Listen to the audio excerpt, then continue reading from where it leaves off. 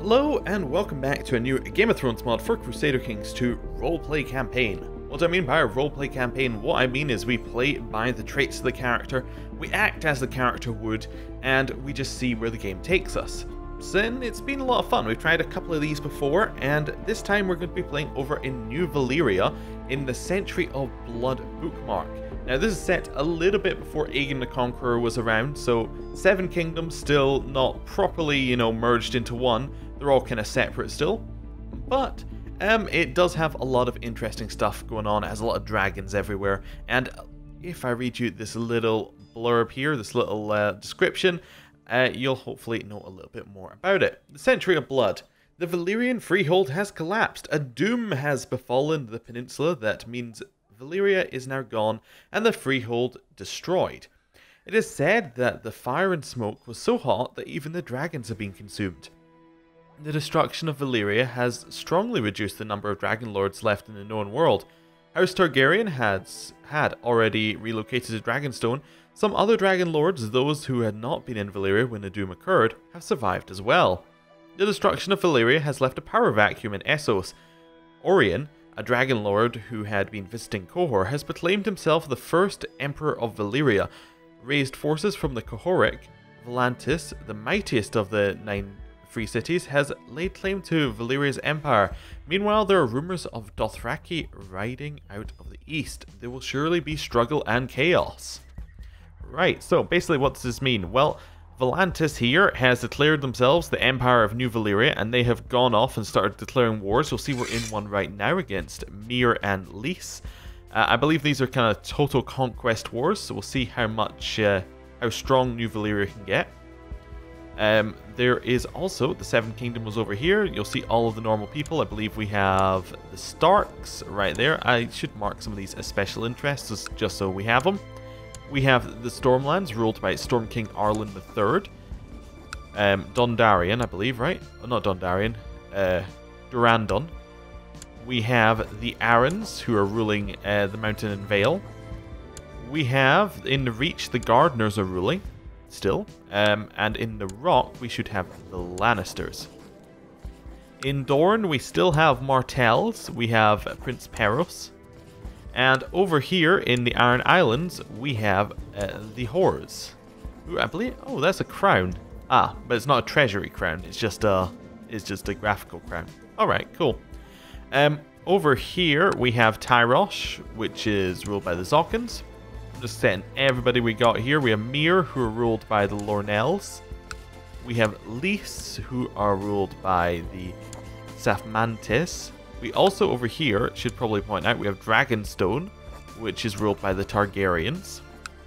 Pentos, who's ruled by uh, the Narratis. Although all of these are republics over here, so they will change probably. Although that's not a republic thing. No, it is. It's got little banners on it. So yeah, I think that is still a republic. Yeah, Merchant Republic.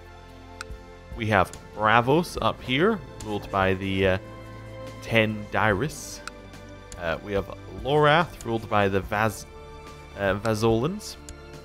We have Norvos, ruled by High Priest Ariel. We have Qohor, ruled by the Quaritts. And we have New Valyria, ruled by Arlige Triarch uh, Marquello Tagaros. In Esseria, we have, uh, it's all ruled by uh, Parissus. Something like that. I think that's probably enough for just now. And we should probably set the Dothraki ruled by the great Khal Mengo Mengo. Okay, cool. Right, so let's have a look at where we started. We are Triarch, we, we are um, Triarch Alex of New Valyria, also known as Lord Master Alex of Ulvis Mel. Um, we are Valyrian, which gets a whole bunch of opinion with a whole bunch of people, um, which is cool. We also are a merchant republic, so we can do all the things merchant republics can do. We can basically be a republic. Um, we are of House Vassar, which has eight living members. So we have us, we have our four children, um, we have our sister, our brother, uh, our other sister, and that's everybody. Yeah, that's us all here. So we should probably make sure our family is well set for. We also all appear to have white hair, as um, Essosi Valyrians tend to. Um, we are a skilled steward, so very, very good at that sort of stuff. Although, actually, being a skilled steward, you would expect our stewardship to be higher. Oh well, whatever. Uh, we are a trained fighter, so good at fighting. We're part of the Elephant faction. So these are a party of merchants and moneylenders who advocate trade. They expect their triarchs to oppose wars of conquest. So we get extra tax for that, but we have some less effectiveness in battle. And we hate people who are the opposite traits, who I think are something like Tiger and something else. Um, we could probably see if we hit, yeah, we got Tiger right there. So are a party of old aristocracy um, and warriors who advocate the sword. They expect their triarchs to back wars of conquest. So yeah, it's actually just the straight opposite. I think there is a third as well, um, but I've forgotten what that one is. But we, we will get to it in time, I'm sure, if there is. We're also a slave trader, so we trade in slaves, and we're a slave owner. We have slaves. We are patient. We are gregarious. We're quite content with our current lifestyle, but we're also cruel. So we're kind of we're, we're not going to rush to anything. We're quite friendly with people who I imagine are equal to our station, but um, we're quite cruel to people who are not. Um, okay, cool. Let's go set ourselves some ambitions. So we could desire to come on our liege's council. That's definitely something that I could see us ha having. We could desire to fall in love we could want to have five children, want to adopt a lifestyle, or obtain a dragon egg. Let's have a look here. We're content with our station, so these ones are all out. We're cruel, we're gregarious, so gregarious, maybe fall in love, kind of fits into that. We quite like uh, being social, socially competent. Adopt a lifestyle, get ourselves a hobby. That could maybe fit in as well. Um, you know what? Let's go for get ourselves a hobby. There we go. And then, in our focus, we are part of the Elephant faction, so we quite like being part of merchants. Seems business focus would be the obvious choice here. We're content with our station, you know, it's kind of like, yeah, business seems to fit into that quite well, so we're going to be business focused. We are married to uh, Herios, who is of House Herios, who has no other living members, okay? And she's old enough that she's probably not going to give us any more children, but we already have four. We could get secondary wives. Do we lose prestige for not having them? No. So we're not going to rush to that. We're content with our station in life. But, uh, you know, if the opportunity arises, we won't uh, shy away from it. We have a daughter who is 11, um, who needs some focuses set for her. We have a son who is 8, so that'll probably be our heir. Actually, because we're a republic, our heir is actually uh, the oldest, I think, or the person with the most prestige, or something like that. It's some weird combination. Oh, seniority. It's actually straight seniority. Oh, no, I was thinking uh, over here. This respect thing for republics is all based upon a whole bunch of different things. If we hover over its age factor, prestige, and how much put into a campaign fund. But seniority for who inherits. So our brother will inherit next. Okay, cool. Um, so we have our son. We still want to educate him as if he's going to take over one day, but not necessarily going to be next.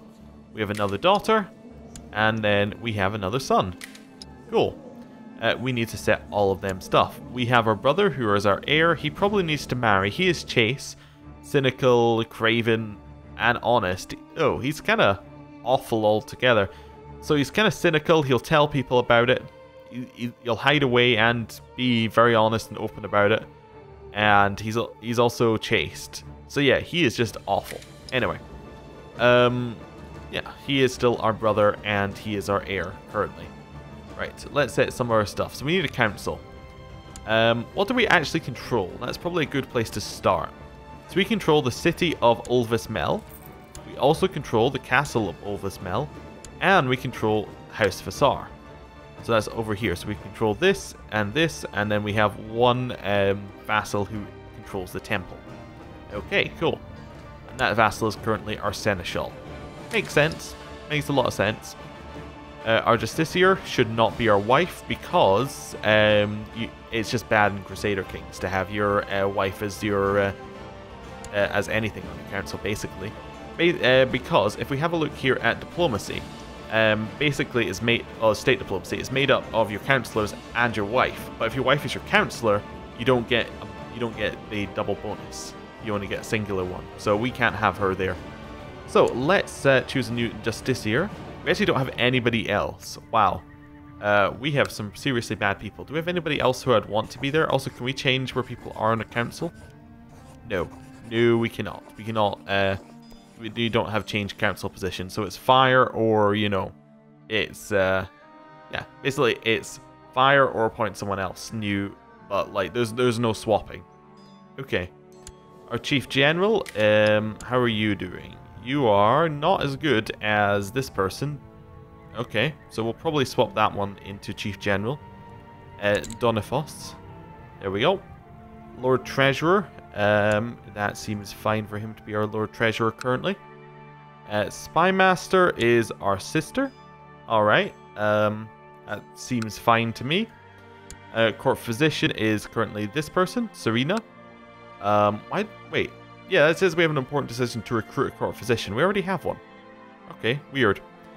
Oh, ah, no, okay, I get it. Basically, we have a Court Physician here. But this is a council position, not a minor title position. There's also a minor title position for, um, or there should be for court physician. Or maybe those will connect into each other at some point. Okay. Anyway, it doesn't matter. Oh, we could also appoint an heir. Oh, interesting. That's cool. So we could, if if we like our son better, we could appoint him as our heir. Okay, cool.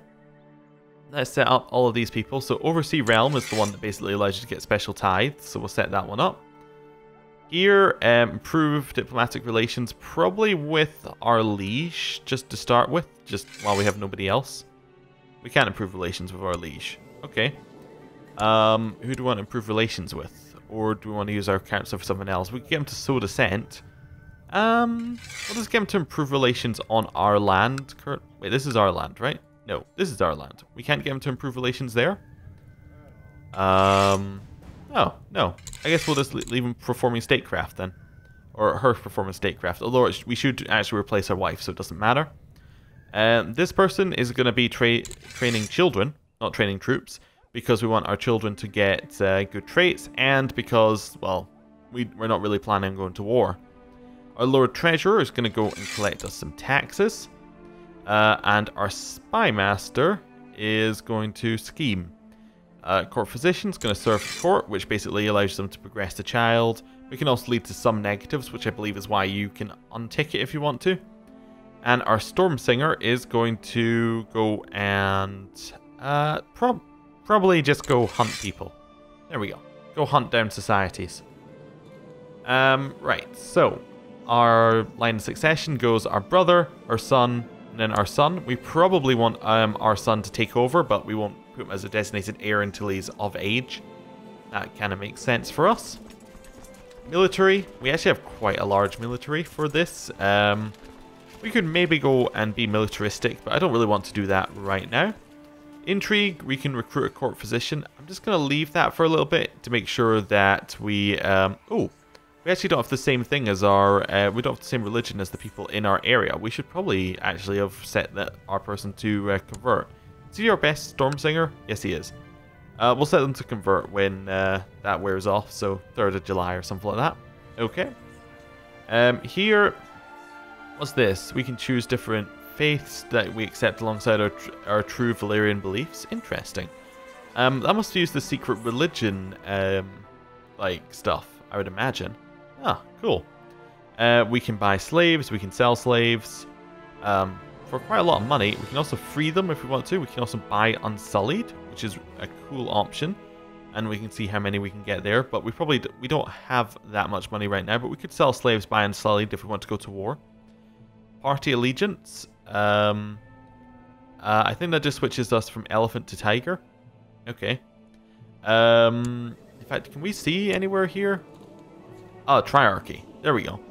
Um, so there should be three. We have elephants. We have... Uh, da, da, da, we. I'm just trying to read through this to see if we have anything.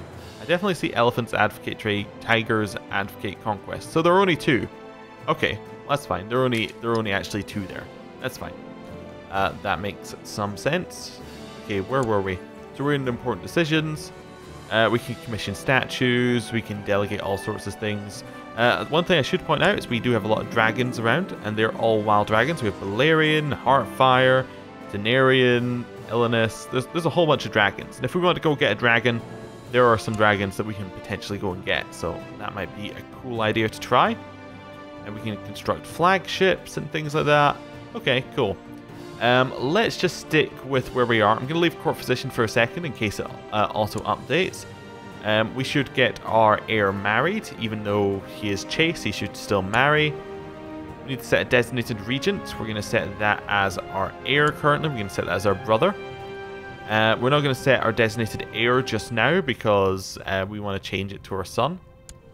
Three children lack focuses, so this is our daughter. Our daughter is affectionate, idolizer, playful. Uh, so humility is the one that gets her affectionate and timid. Um, idolizer was the one was one from faith. I'm just trying to figure out how she got these. And playful, she probably uh, is. You get that from etiquette. She probably didn't have a focus then, or these were just randomly generated. What do we want our daughter to be? Well, probably etiquette makes most sense. Uh, tutored by counselors and other courtiers, focusing on courteous behavior and etiquette. Kinda makes sense for our daughter. Right, who's next? we have um, our son, who we want to make our heir one day. He is willful currently. Um, we probably want to go either pride, where he's being groomed for rulership, or duty. He's focusing on duty, diligence, and all that sort of stuff. Let's have a look here at, uh, at what we want to do with that. Um, probably we want pride. I think pride kind of fits what we want our son to be. We want to groom him for rulership. We're kind of patient and content with ourselves, but maybe we want our son to be better than ourselves. I don't know. We'll go with that. And then our last one is our daughter. Um, and we'll go for etiquette once more. Cool. Right, uh, all of those are set. We're not going to do court physician. We're just going to unpause the game and see how everything plays out. So, yeah, there we go. We're getting event spammed. So, uh, High Priest Ario has declared the no uh, the Norvosi slave raid on Sarhoy, Quinton of Sarhoy. So Sarhoy is... Wow, there are a lot of events. It's over there. So Norvos is declared on them. We have too many events. I'm trying to get do these one at a time. Okay, so that's what he's done. Storm King Arlan of the Stormlands created a title. Don't care. Uh, Great Khal Mengo of the Dothraki Seas declared the Great Khal Mengo's war against King Ganash of Gornath on King Ganash of Gormath, which he is over here. So the Dothraki are expanding. Okay. And the, the, the Dothraki. The many Khals of the Great Grass Sea have been rallied under the same banner. The leader that managed to unite them all is Mengo. The people of the grasslands now call their leader Great Khal and have set their minds not only to ruling the Dothraki Sea, but to spread throughout the world under the leadership of the stallion who will mount the world. Is there anyone who can stop the thundering armies of thousands of hooves? Something has to be done to stop them. Okay, cool. Uh, it looks like our court physician didn't set, which is interesting.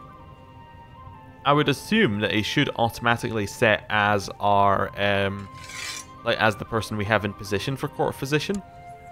Um, you know what we'll do? We'll untick it. If we get ill, we'll see whether we need to hire one. Okay, cool.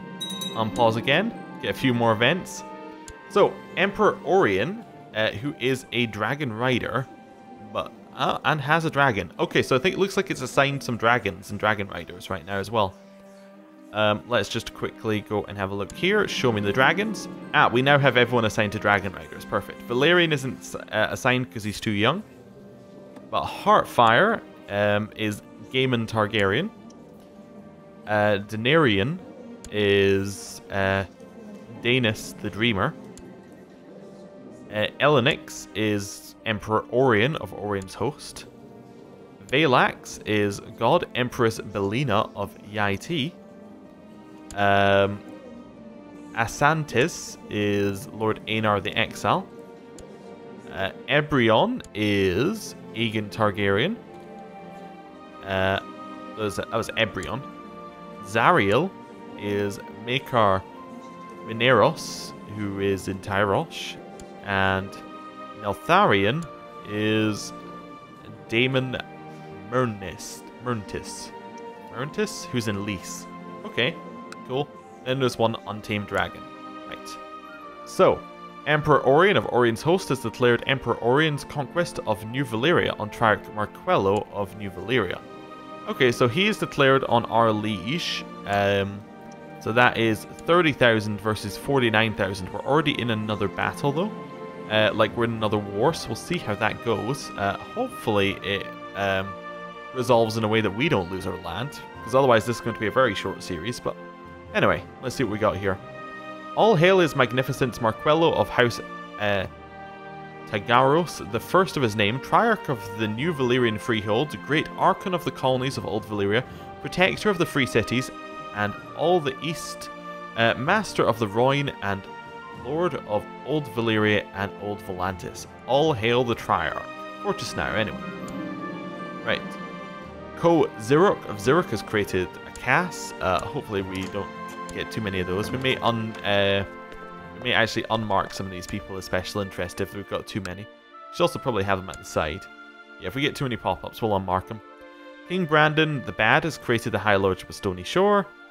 And Ko Onik of Onik has created another cast. What have we got here? Request council support. So, uh, we are on our Liege's council, are we? Uh, we're general of uh, New Valyria. Oh dear, that doesn't seem very good for us. Uh, anyway, to the glorious Triarch Alex, blessings upon you and your house. Please support me by voting with me in the council. If you agree to do this, I'll henceforth owe you a favour. So the High Priest, uh, Metheso. Uh, I don't really need a favour from him. He's also R'hllor, and we are a Valyrian, so we're, we're not the same religion. There's some natural disliking of him. So we'll just say, no, we're not, we're not going to do anything with you. Right. Uh, ah, it did set our court physician automatically. That's good. Uh, we need bodyguard set. We have some people. We're not going to set the one martial person as our bodyguard. We'll set Becco as a bodyguard, because he seems to be very, very good at it. And we'll set uh, Hirono as a bodyguard. In fact, you know what? We'll set our one person as a bodyguard as well. Just because we need, we have some extra slots free for that. Some extra positions. In terms of our commanders, we probably want some very, very good... Like, we want good commanders, not this guy. So we'll set that guy in. And then our other commander we'll put as this one. Cool. Uh, anything else that we need to rush and do? Probably not. I think that this is going to be a good point to end the episode. Thank you for watching. As this is the first episode of a series, I would really appreciate it if you like, subscribe, comment, all that sort of stuff. Basically, it helps with search ranking and also helps with the viewer engagement stats that YouTube uses. So, thank you for watching. I'll see you next time. Goodbye.